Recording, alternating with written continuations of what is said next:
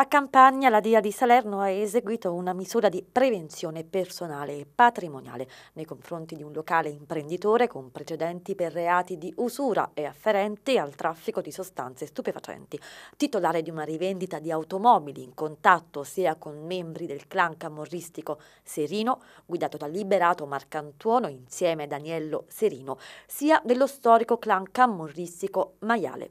I due sodalizi erano operativi a Campagna, a Eboli e in diverse località della piana del Sele. Il Tribunale di Salerno ha applicato il laspo e la confisca, previo sequestro, di beni mobili e immobili, terreni, società e depositi di credito riconoscibili sia al proposto sia al coniuge per un valore di circa 2 milioni di euro.